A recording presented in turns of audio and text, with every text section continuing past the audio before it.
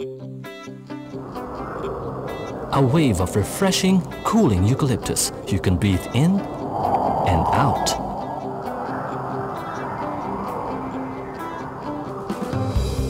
New close-up cool waves, definitely cooler, inside and out.